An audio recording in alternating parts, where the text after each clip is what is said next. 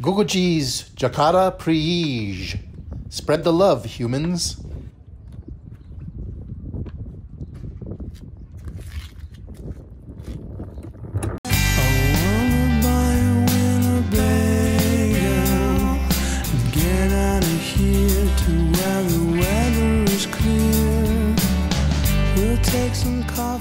In this episode, I'll show you in real time with a timer how I prepare my rig for departure in under 10 minutes.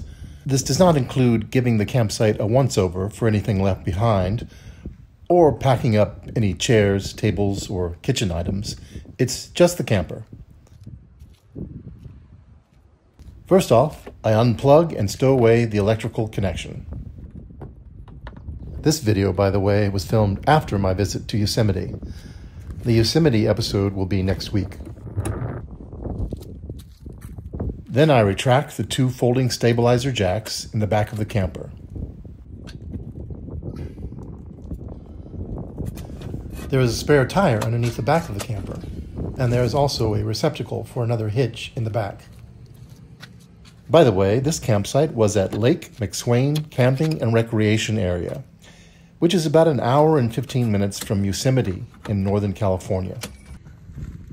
Next, I remove and pack away the wheel chock.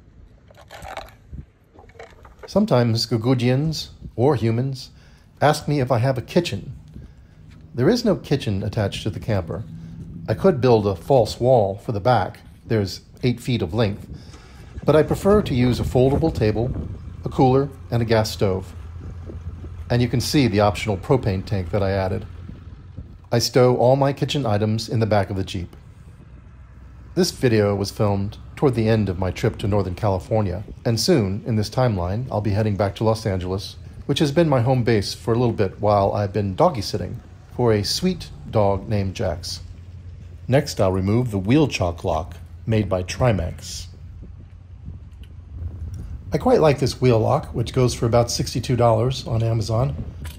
Of course, a thief could break any of these locks if they wanted to, but it's just an extra deterrent. Thankfully, I had no problems on the road. All the humans I've encountered have been wonderful. In case you're curious, other optional items I've added to this camper a front cargo rack, a roof rack, a coax connector for cable TV, which I've never used as yet, and the aforementioned rear door and 11 pound propane tank and mount. This hitch lock is from Proven Industries. In case you're wondering, the hitch lock cost about $245, and I've been very happy with it.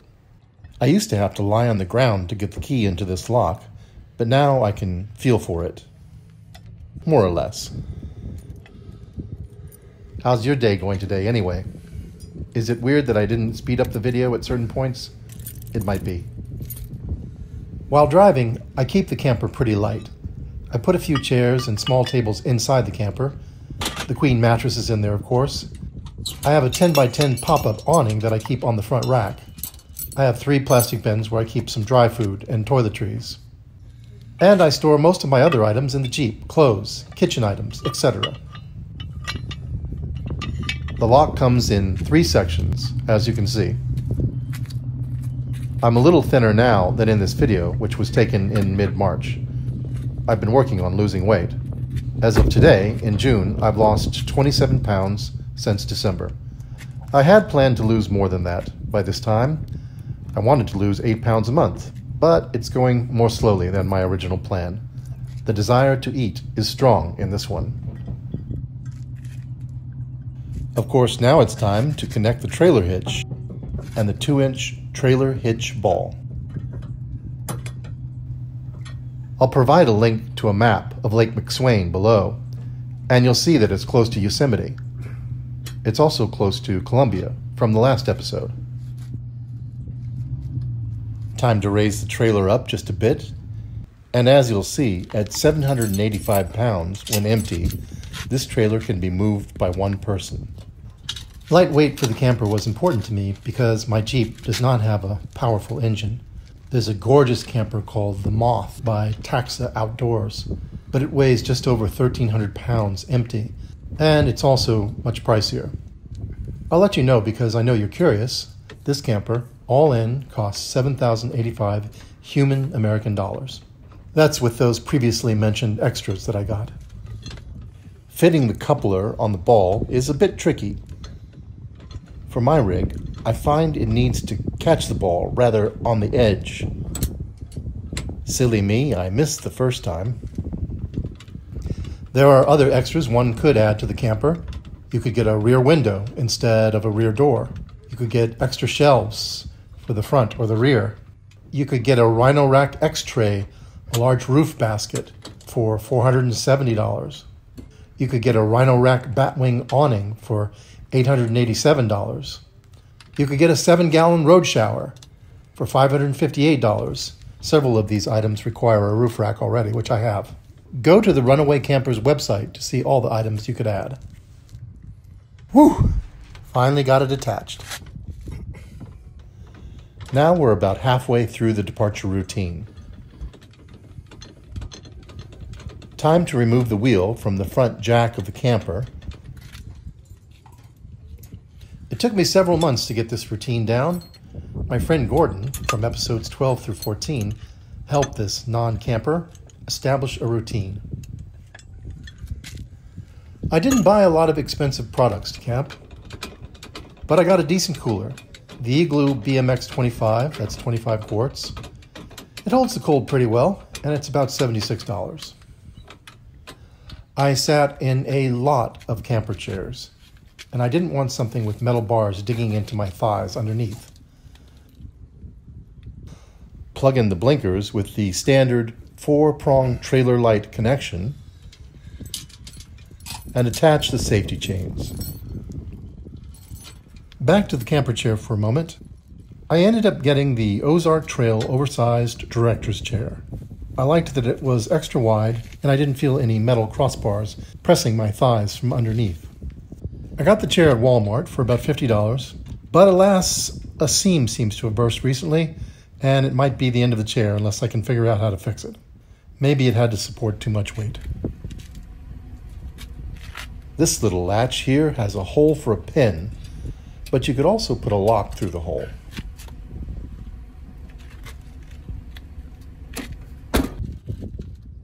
Time to close and lock the camper doors. The RangeRunner comes standard with two side doors, and I opted to get the 40 by 40 inch rear door.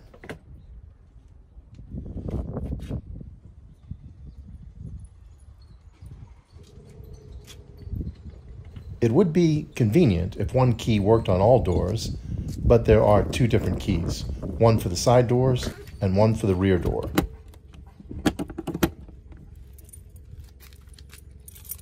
There are two keyholes, one for the door bolt and one for the door handle. If you stick the wrong key in, it can get stuck and you may end up having to replace the lock. I always double check to make sure I close off the 110 flush mounted plug. The 6 foot by 8 foot version of this camper has two power strips inside.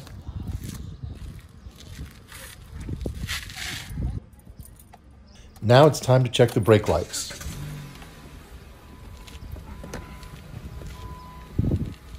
Since I'm usually alone, I use a weight on the brake pedal. Talking about the coaxial connection for a moment, I suppose one reason I've never looked into cable at any of the campsites I've stayed at is that streaming services seem to work well via Wi Fi. Side note, of course, I have a universal streaming connection from my spaceship, but that would be cheating. Left blinker. Admittedly, this part can get a bit tedious, but it's important to be safe out there, right?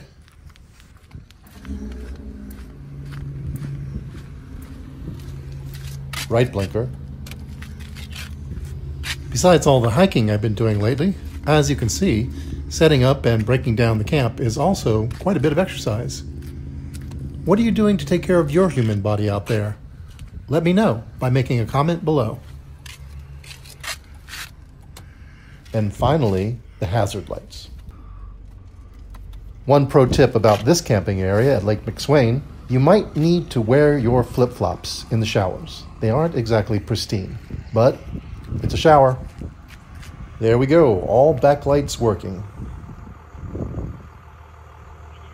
And that is how you prepare the RangeRunner for departure in under 10 minutes.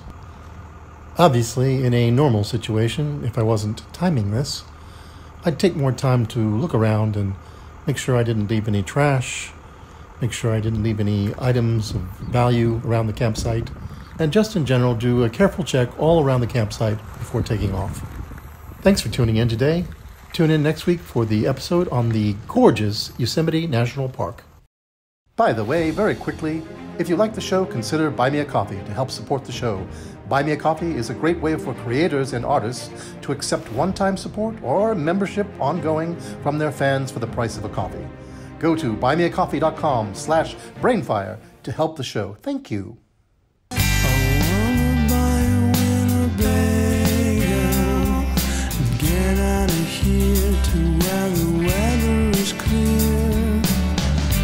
take some coffee and some bagels and get out of here to where the weather